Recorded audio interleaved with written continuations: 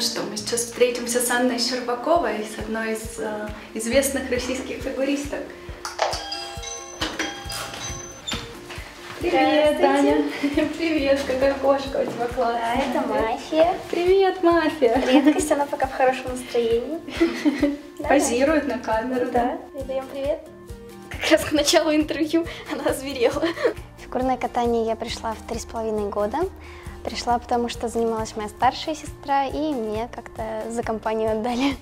Я катала розовую пантеру, и вот э, именно важно было, что это не просто какая-то музыка, а что вот у меня был образ.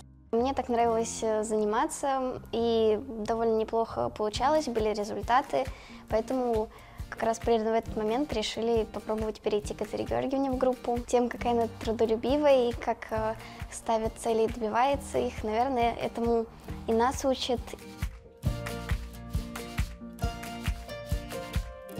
Тебя же кидают э, мишек вот таких вот коричневеньких. Это мне, да, на соревнованиях в Китае болельщики э, организованно, как э, кидали мне мишек. Я все принимаю очень близко к сердцу. Я э, проживаю все эти радостные моменты, очень большие эмоции, но также я бывает каким-то мелочам очень сильно расстраиваюсь, там расплачусь. На тренировках сама себя успокаиваю, настраиваю, что нужно идти и справиться.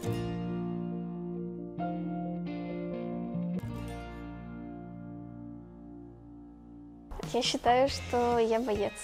На льду надо больше проявлять характер, то есть э, бороться за каждый элемент. И этому меня также тренеры учат, чтобы никогда на льду не вылезала, как сказать, это вот такая спокойная девочка. Да, я хрупкая, я небольшая, да, но при этом все-таки на льду стараюсь э, показывать все как полноценный взрослый фигурист. Для меня это важно, чтобы это видели, а не просто, что маленькая девочка вышла на лед.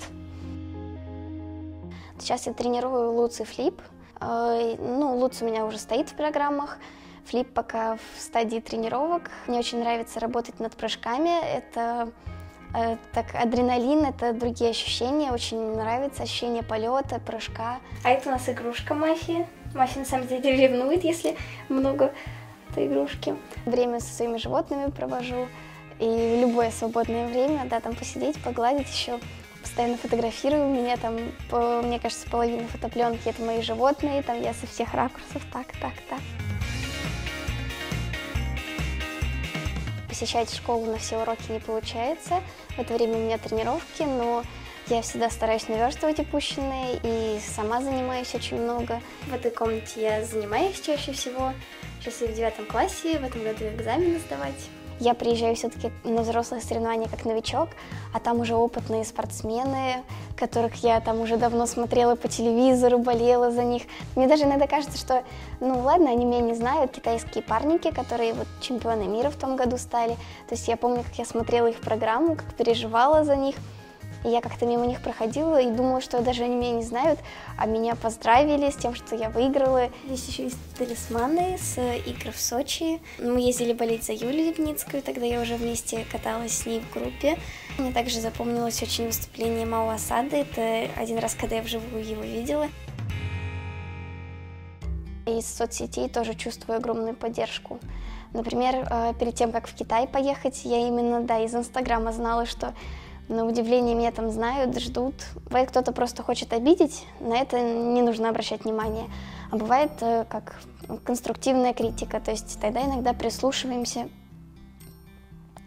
э, как-то анализируем, почему не понравилось, что не понравилось. То есть какие-то свои недочеты я знаю и сама, то есть соглашаюсь с чем-то.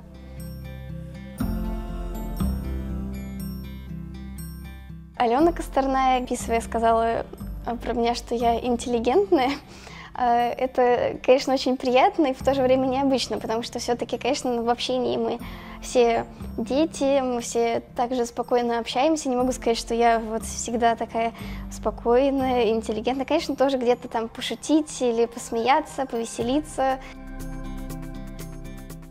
Конечно, сейчас очень сильная конкуренция, но конкуренция, она есть всегда и везде. Это немного, может, давит, но скорее даже стимулирует на работу. Для меня будет честью э, попасть в Пекин и представлять свою страну там. Ну да, конечно, стараюсь так далеко сразу не заглядывать. Это как такая глобальная цель, мечта.